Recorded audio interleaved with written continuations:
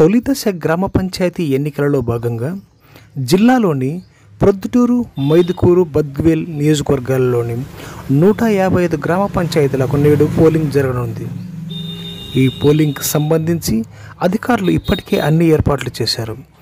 ఎక్కడ ఎలాంటి అవాంఛనీయ సంఘటనలు జరగకుండా కట్టుదిట్టమైన భద్రతా చర్యలు తీసుకున్నారు. పోలింగ్ జరుగుతున్న నూట యాభై ఐదు గ్రామ పంచాయతీలలో ఎనభై సమస్యాత్మక కేంద్రాలు మరో నూట ముప్పై ఆరు అత్యంత సమస్యాత్మకమైన కేంద్రాలను గుర్తించారు. పోలింగ్ ప్రశాంతంగా వాతావరణంలో జరపడానికి సుమారు రెండు వేల మంది పోలీసులను విధులు నిర్వహిస్తున్నారు.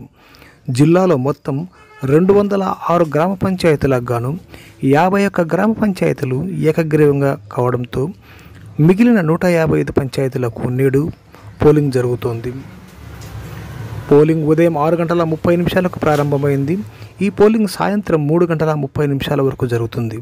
ఆ తదనంతరం నాలుగు గంటల నుండి ఓట్ల లెక్కింపు జరగనుంది.